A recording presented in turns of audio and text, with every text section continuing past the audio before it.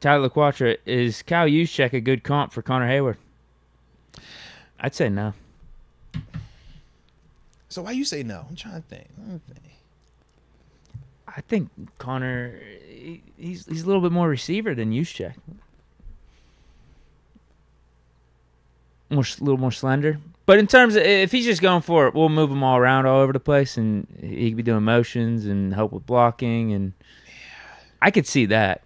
I just think they're different body types. They have a little bit different skill sets. Because check to me is still more true fullback. Right? Yeah, he's closer to that. Yeah, whereas Connor is closer to tight end to me. I look at Connor as like undersized tight end, like true H back. Whereas I think uh, is just like a super athletic, gifted fullback.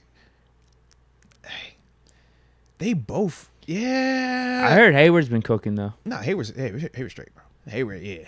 I like Heyward, bro. Dude, we got so many weapons. Yeah, absolutely, absolutely. I just like I said, I'm ready to see. Like it. Calvin Austin's, we're, we're talking about him being like Mhm. our fourth guy. I'm still waiting to see Darnell with the pads on. That's it's massive out there, bro. They usually like, bro. How's that going between him and Gentry? to they haven't really put anything like serious like that going on. And what I mean is this: like, you'll see them getting occasional pass here or there, but the real question is going to be when they put them pads on, which one of them two is consistently moving them people out the way in the run game. Better blocker. And if we're trying to take shots out of 12 personnel, who can block the DN, who can block the outside linebacker the best? Whoever can do that the best is going to be the guy who wins that. You know, Muth going to be running the routes. But I do feel like we're going to still have that 12 personnel like feel.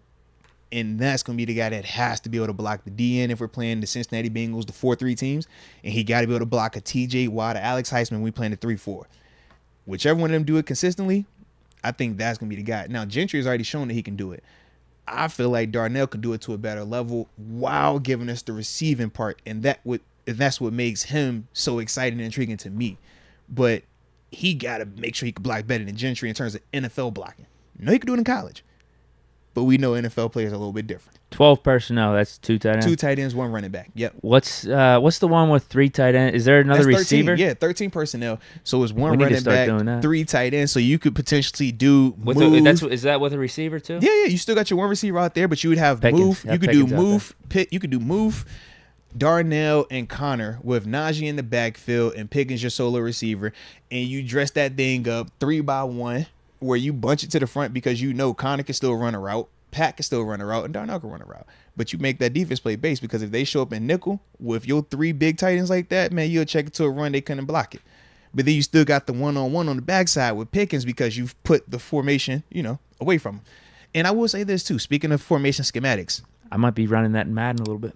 uh, I can Watch see out. I can see. I can see. I, I wanted I wanted to talk a little scheme though.